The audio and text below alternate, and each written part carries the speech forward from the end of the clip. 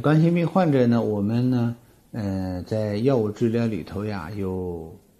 五到六类啊。我们比如说里头有一类药叫贝塔阻滞剂，那常选呢贝塔乐克。贝塔乐克呢分长效的、短效的。比如说我们短效的就普通的美托洛尔，二十五毫克一片，我们让病人吃十二点五毫克一日两次，或者二十五毫克一日两次。那么这个药呢，就是说我们要，呃，量的话呢是半片一片，一片半两片这样的加量，最大量呢可以吃到一百毫克一日两次，啊，那么贝塔阻滞剂就是这类药呢，它的作用呢，它主要是一个呢，它能嗯减慢心率。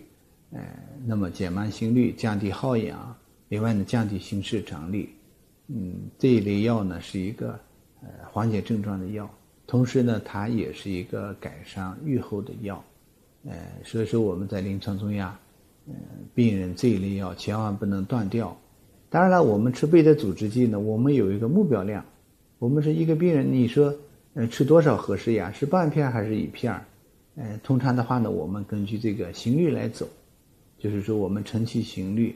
一般不要低于五十五次啊，因为现在呢，生活节奏快，好多人压力大，好多人心率快啊，包括有的人就是平时心率就九十次、一百次，找原因还找不到，怎么办？其实就应该长期服用贝塔阻滞剂。那么这类药呢，呃，也没有太多的副作用啊，当然它紧急症里头也也是有的，比如说。我们是一个小喘病，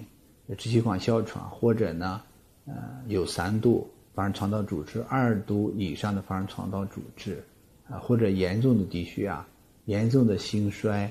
就是伴有水肿明显严重的时候，还暂时不用这个贝德阻滞剂。嗯，它呢是治疗冠心病这个基石，所以说临床中我们使用的非常广泛。